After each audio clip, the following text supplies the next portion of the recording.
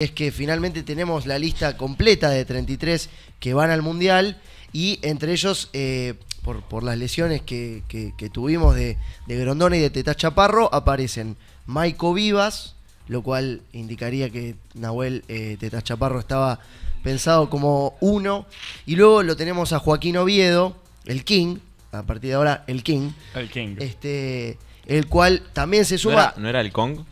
El King. O puede el ser King. King Kong, También. si querés. Es que le dicen King por King Kong. Eh, no, es- no es- no es sí, mentira sí, eso. me imaginé que, que debía ser por eso.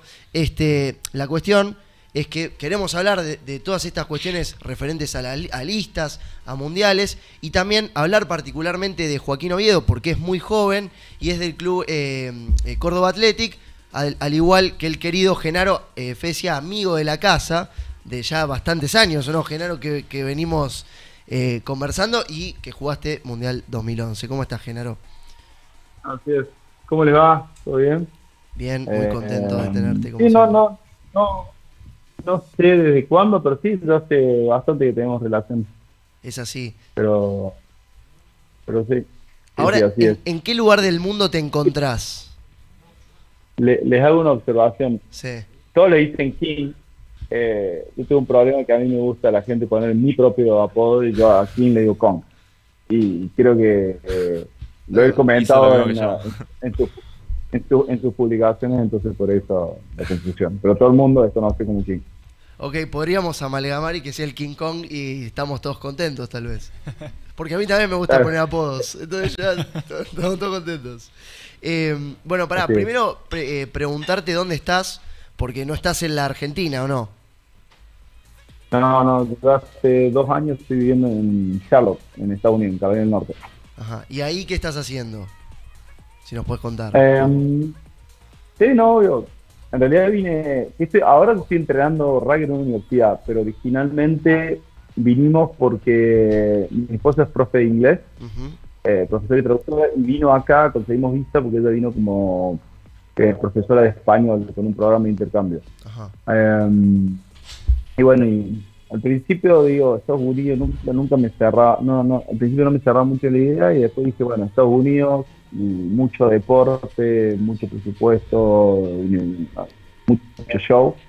Eh, entonces, bueno, le, le- le agarré cariño, llegué y bueno, rápidamente encontré, encontré trabajo en una universidad que estaba recién arrancando el programa de rugby, así que nada, bárbaro, yo ¿Y co- trabajando de, de entrenador. ¿Cómo es eh, manejar un equipo a ese nivel profesional? Pues no, no debe ser igual que, que como sería en tu club.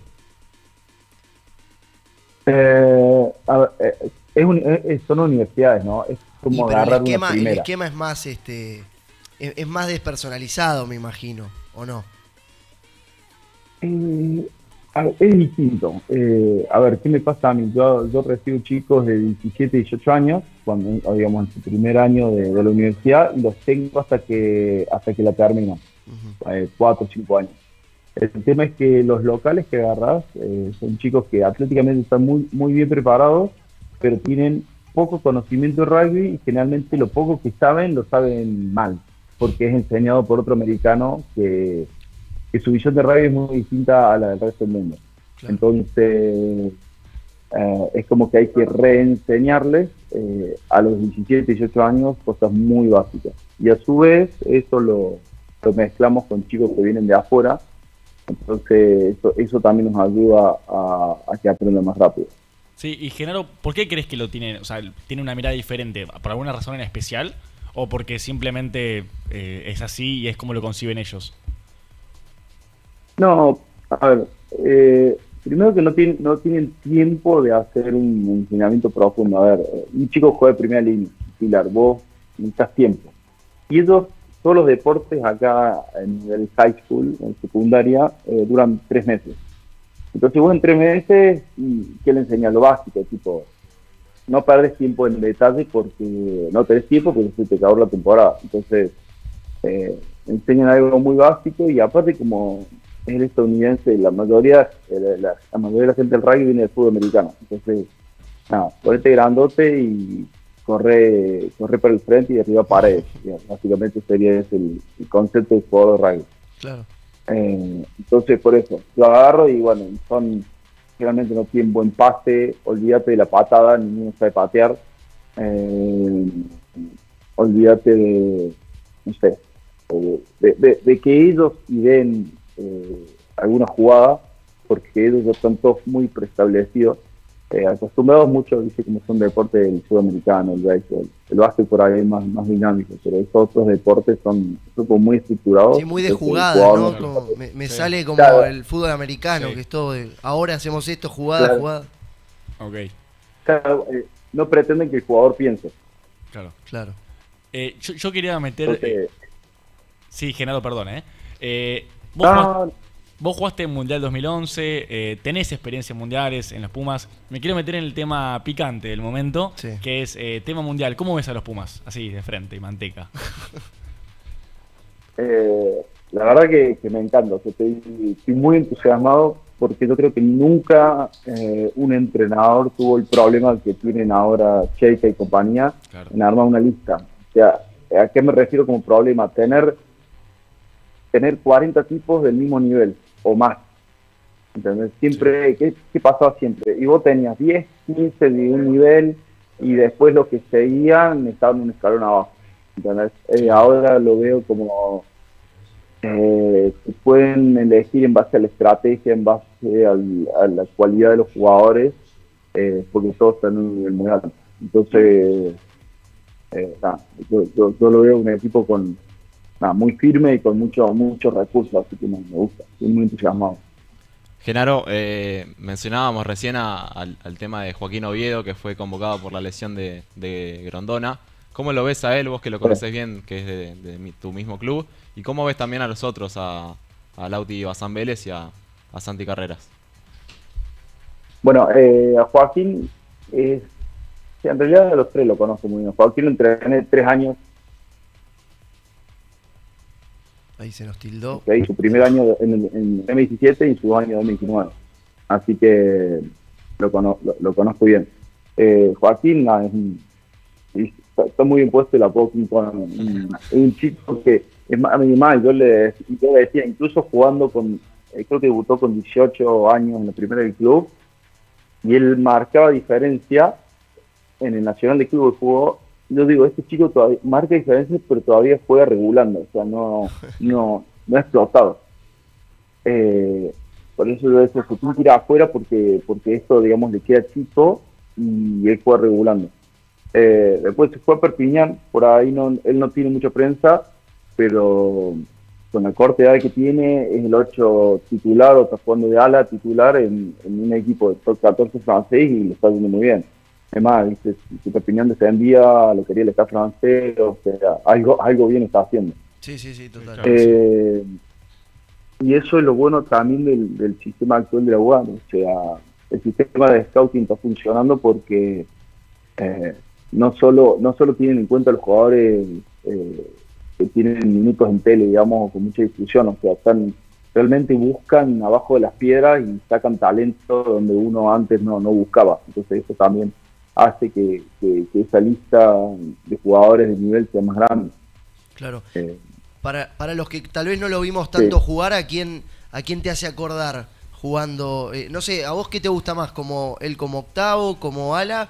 ¿Y a qué juego así decís, sí, se parece a, no sé, tal octavo, tal tercera línea? Y como ocho te diría tipo Camerlin un 8 un, ocho armador de huecos, digamos. Claro, pesado, más pesado. claro, claro. Eh, pero a su vez es muy rápido, o sea, vos lo ves pesado a él, pero es rapidísimo, tiene un juego mano. Eh, nada, es como una versión moderna de, de. Mirá. No, no, eh, eh sí. No, pará, igual la otra es, eh, si, ¿de qué te gusta más a vos que juegue eh, por tu, tu, tiempo como entrenador? Eh, a ver, de 8 es un animalito, pero a, este nivel y, yo, por una cuestión de experiencia, lo pondría de ala, como para, para un poco de presión. Bueno, una, cosa, una cosa es jugar en tu club, ya sea Perpiñán, o sea el Atlético, y cual fuera, y otra cosa es jugar en el seleccionado en el Mundial tranquilamente se puede, se puede adaptar. Sí, lo más probable, si juega, me parece que va a ser de ala porque eh, la número 8 está bien cubierta. Sí. Sí, sin duda. Y, yéndome un poco al, a los rivales del, bueno, del grupo de, Argentina, ¿cómo ves Inglaterra? ¿Ves ¿Los ves con posibilidades de, a los Pumas obviamente, de, ganarle realmente a Inglaterra y salir primero del grupo y bueno, y, como decimos acá en rugby, de llegar a la final en un supuesto caso? Mira, yo tengo mi compañero de staff técnico es inglés, es británico. Sí. Eh, hablamos mucho al respecto y yo le digo, eh, el partido entre el Mundial de Argentina no depende tanto de los rivales, sino de Argentina. Eh, a ver, le podemos ganar a cualquiera si estamos todos con, todos los partidos en línea, pero a su vez, si no tenemos un buen día, podemos perder con cualquiera. O sea, yo creo que depende exclusivamente de, cómo juegue el equipo argentino y no del rival. Claro. Ok. okay. Sí, de hecho. Eh, sí, sí, de hecho. O sea, poder sí poder se puede ganar cualquiera y por eso te digo el entusiasmo que tengo. Ojalá que salgan las cosas como, como, lo, como lo planeen, que no tengan grandes imprevistos y sí, yo creo que puede ser un gran mundial si, el equipo juega como como lo, como lo practica, como lo planea durante la semana. Sí, de, hecho el problema de los Pumas fue la constancia. De hecho, no, pudo, no, no, suele tener mucha constancia. Pero me parece interesante esto que decís, Genaro, porque en otra época era ver hasta cuándo llegaba a fallar el rival me imagino ya, incluso en tu época, no sé, no sé qué se decía o qué decían ustedes dentro de, del equipo allá por 2011, un poquito antes también, eh, pero hoy eso ha cambiado y, mucho. Sí, sí, aparte de, exacto. Eh, eh, a ver, antes es como que vos esperabas que el otro equipo no tenga, no tenga un gran partido. que se nosotros en, el 2010 también jugamos el primer partido de zona contra Inglaterra que, terminó ahí palos. Eh, pero lo su favorito eh, sea, era, tener, un gran día para poder ganarlo. Eh, yo creo que, bueno, independientemente de, la situación actual de Inglaterra, eh, y que entrenador nuevo, jugadores suspendidos, y, yo creo que estamos más parejos es un partido más entre pares que, una potencia y un equipo sudamericano que, son eh, que es una suerte de, jugadores talentosos eh, sin, ninguna planificación. Eh, yendo más al Mundial 2011 donde vos estuviste, hay tres de, ese equipo que todavía siguen y van a estar en Francia, que son Imov, Crevi y Sánchez. ¿Qué me puedes decir de, de cada uno y qué crees que le pueden aportar a, este equipo? Y bueno, obviamente la, experiencia, eh, experiencia que es invalorable, más en un mundial que, es algo muy distinto, la atención es muy distinta, eh, no, es, no es un desmate, es como que, hay, que, mucho por juego. Yo creo que ellos le pueden, y seguramente lo, lo, han hecho eh, en cada día de, la concentración, es transmitir experiencia, tranquilidad, confianza y, y bueno, y obviamente en el momento de, jugar, eh, e, eso es invaluable. Tener, tener a, a Nico August y, al Galgo de Agustín, a, no, eh, yo creo que es invaluable. la experiencia que le puede dar y la tranquilidad, sobre todo a los chicos más jóvenes, eh, yo creo que, lo, que va a ser un, un punto alto también del equipo en tu época, en, en tu mundial allá en, por 2011, ¿quiénes eran los jugadores que, más allá de los obvios, digo, cuáles eran los que a vos te transmitían esa seguridad que, vos decís que estos tres transmiten hoy? Y bueno, eh, nada, en ese momento estaban, con el que yo más hablaba, era Pato, después cuando estaba Corchuley, que si bien eran de mi misma edad, ya habían jugado el Mundial 2007, eh, y después, nada, Felipe, eh, uy, ¿quién estaba? Bueno, y después no, todo más o menos en Bueno, estaba Ro, Romario, eh, Celso. Celso. Sí. Había, había, había una, había una, una mezcla, un cambio generacional ahí importante. En ese momento éramos nosotros los relativamente jóvenes, digamos, y ellos eran los, grandes, los que se iban y nosotros los que quedábamos. Claro. Eh, ¿tenés algo? No, yo la quería dejar para el final. Ah, ¿querés dejar algo para el final? Es una, una, es una es una pregunta boba, para hacer a vos. Ok, ok. No, no, no. Eh, eh, vos entraste eh, ese famoso partido con Escocia, este, que se lastima el corcho, te toca entrar a vos. Este, ¿cómo, qué, recuerdos te trae ese partido y fundamentalmente del try del final, que no sé para ustedes, pero quizás sea de los más lindos de la historia de, Argentina en los mundiales? Sí, era un partido muy muy tenso. Era como que, yo creo que eh, los dos, o sea, los, dos, los dos equipos sabían que el que cometía el más mínimo error eh, se volvió a su casa. Entonces era como que todos proponíamos hacer, pero a su vez con mucho cuidado. Yo creo que fue esa fue, digamos, la, única jugada que salió de, ese esquema y, bueno, salió el try que salió, ¿no? pero, pero sí, estaba, estaba medio lluvioso, un, viento, creo que fue en Wellington, que había un viento, eh, hay, hay un viento medio de tipo eh, remolino adentro de la cancha, eh, entonces era todo difícil. Y, ah, era, era mucha tensión, muy tenso el partido. Me acuerdo mucho golpe, mucho poco pase, poco jugada vistosa, y la única jugada vistosa fue, fue el try este de Lucas. Que nada, no lo podemos creer, salió de la nada. Claro. Y ellos, ellos también medio picantes, ¿no? Del otro lado eh, había medio pica, mala onda, se notaba por lo menos desde la transmisión, de parte de ellos sobre todo. Eh, durante el partido, ¿sí? Sí, sí, sí. Eh, yo creo que por la misma tensión de lo que significaba ese partido. Eh, sí, a ver, o, sea, ahora me lo pregunté y no, no me acuerdo de, de ninguna reacción digamos, tipo desleal o, una mala reacción. No, no, eso no me acuerdo. Sí, fue muy tenso y mucho golpe y eso sí, pero no, no, no, no más que eso. ¿Vos querés hacer tu pregunta? Quiero hacer mi pregunta. Es una pelotudeza. Pero... Bueno, pero igual. Eh, eh, ah, volviendo al 2023. Candidato a ganar el Mundial de Genaro Fesia, candidato obviamente de país. Eh, revelación de, de, o sea, del equipo, o sea, equipo revelación y jugador eh, jugador revelación o jugador estrella, como te gusta o a seguir puede ser. O a seguir. Al que Genaro Fesia le pone la lupa. Es candidato, equipo candidato, equipo revelación y jugador eh, a seguir. Um, yo honestamente me gusta muchísimo Irlanda y me gustaría que Irlanda fuera campeón.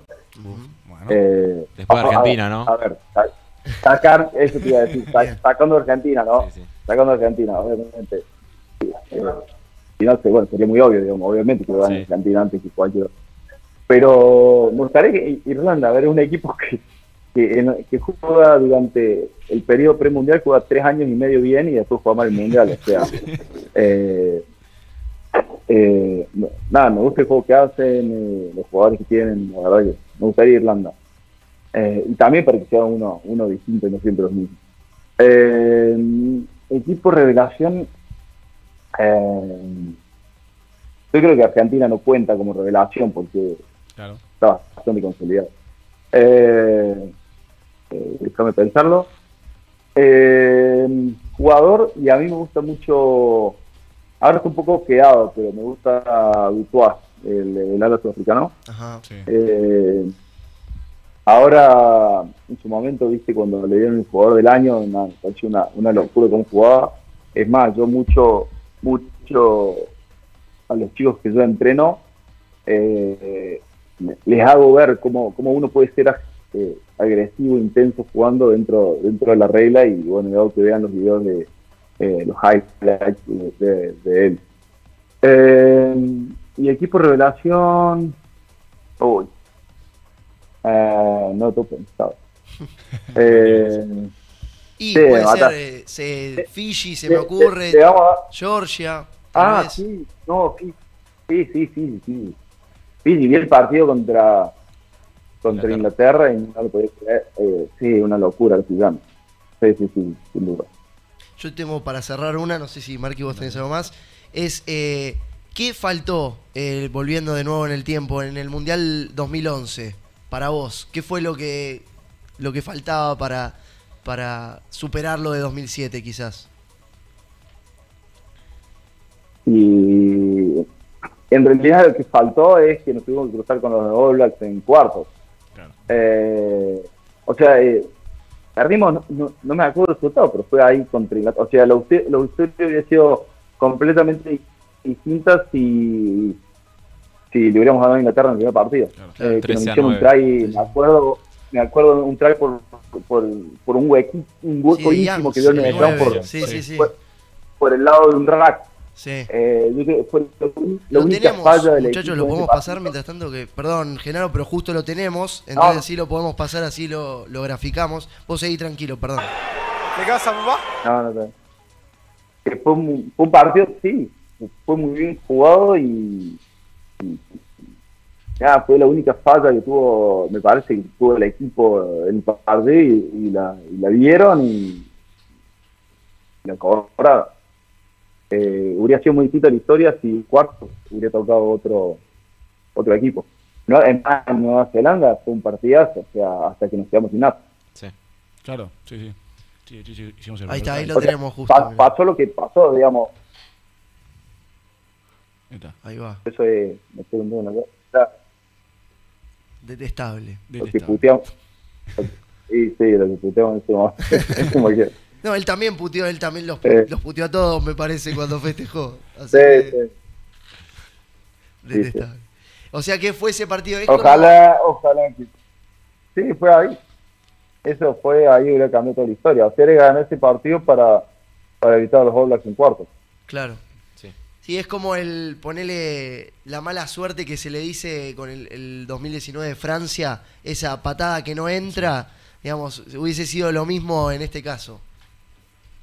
Claro, y poner en Francia, en Francia fue distinto. Yo creo que en Francia, eh, en, en, 2019, no fue un buen partido de Pumas. Hubo muchos errores. Y, y así todo, también fue palo palo, ¿entendés? Por eso, ahora eh, Argentina está parado distinto. O sea, ojalá, ojalá no me equivoque y, salga todo perfecto.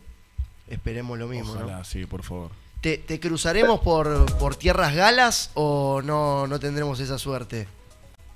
No, no, no voy a tener esa suerte. Usted, usted tiene la suerte, yo no.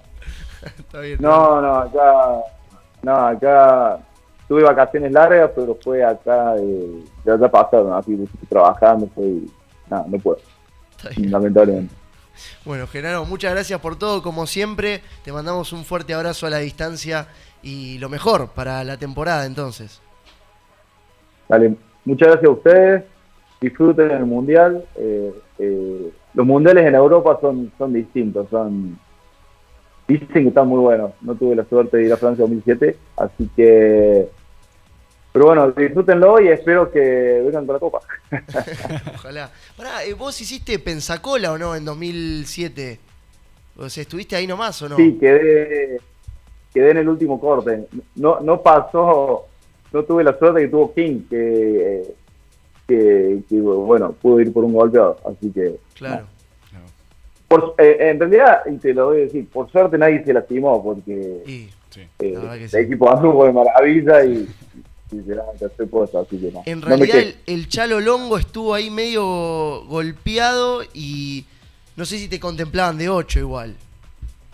Eh, no, el, fue así, en todo Pensacola el que estaba en Dragones era el ruso Auxilia, eh, que estaba con la rodilla, estaba en la rodilla, eh, no sé si estaba venía una cirugía, eh, pero bueno, finalmente logró, logró llegar a jugar y bueno, la rompió. Y después sí, obviamente con los golpes propios, con los golpes propios de Obviamente si iba antes de 8 estaba el, son 8 de ley eh, pero por ahí, como le pasó con el, el oso de Arnego Basualdo, se, golpeó Mario y lo llevaron y jugó un rato en, en partido por tercer puesto. Mm. Eh, por ahí, si se llamaba el Chalo, o sea, por ahí hubiera ido yo porque tenía el permiso de llevar un jugador más. Entonces, pues, este, haber sido parte del proceso me hubieran llegado. no pasa. Bueno, pero se tuvo que, se tenía que dar de otra manera, está bien, es parte de la vida. No, no, sí, por eso. Lo, lo festejé y lo disfruté de afuera, así que nada, fue lindo. Muy lindo. Bueno, Genaro, te mando un abrazo, ahora sí, y muy buena semana. Dale, Saludos. Un saludo. Y gracias, Genaro. Disfruten, el mundial. Muchas gracias, loco. Bueno, ahí lo despedimos, Genaro Fecia, eh, Puma y Mundialista, año 2011.